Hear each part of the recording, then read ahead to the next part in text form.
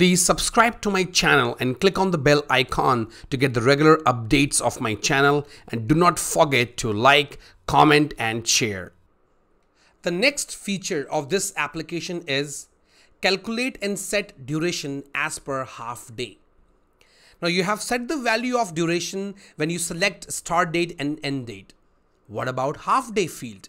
Because you have to mention 0.5 as well because that's what you have to calculate. That's how you deduct and you calculate the leaves. So it's very important that you also basically do the calculation for half day selection as well. How will you do that? Let's go to our instance. So in order to basically fulfill this requirement, so the basically what we have to do, if I will check this checkbox and I have selected this start date, it should just populate 0.5 over here. That's it. This is the requirement because that's a half day we have to mention and that's how we will calculate the leaves, the accrued taken balance. That's how we will uh, calculate the whole leaves uh, we have uh, for any particular employee. But how exactly I will populate this 0.5? Do I need to use glide Ajax again? Do I need to use uh, script include? So the answer is no because we don't have to do any kind of date calculation a, over here. We don't have to calculate any kind of field subtraction, uh, subtraction. We don't have to do that. So in that case, what I can do, I just need to create a small client script. That's it. You will be able to achieve this. So I will go over here and I will close this together and I will create another client script. I will double click this and I will select let's say this one uh, set duration for half day. And here I can select the field as leave request. And UI type I can uh, put all now why i'm putting this ui type as all? Because i really want to i really want to uh, make it working for uh, portal as well. So in that case i will select like this and then i will make it on change. Now with what change of uh, with which like which field we have to change? And that field will be half day. So whenever i will select the half day this client script should run.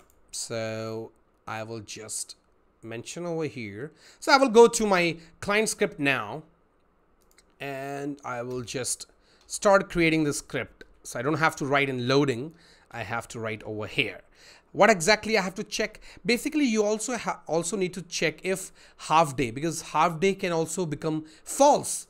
Then you don't have to basically uh, uh, basically uh, calculate the duration. So in that case, what I can do, I can uh, capture the value of half day.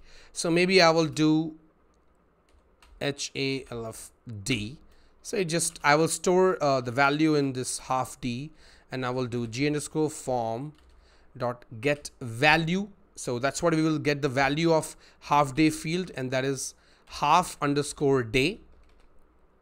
Semicolon and I will do if and I will do half d equal to equal to true if it is true and if we are changing the field, then only it should calculate the duration. So in that case, I will mention over here g underscore form dot set value. But that's what we have to set the value. And that setting the value is for duration field. And here I can just do like this. Point 0.5.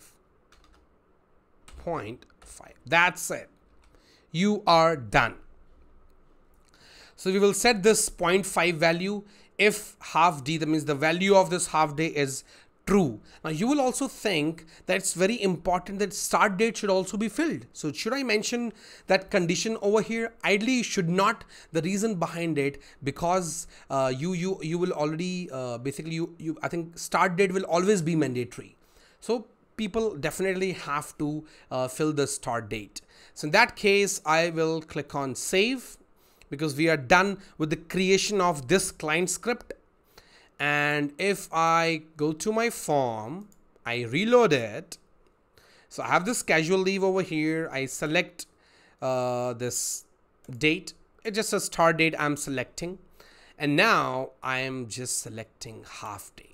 If I select it, you can see I got 0.5 automatically. So that means it is telling me that, hey, you have selected the half day.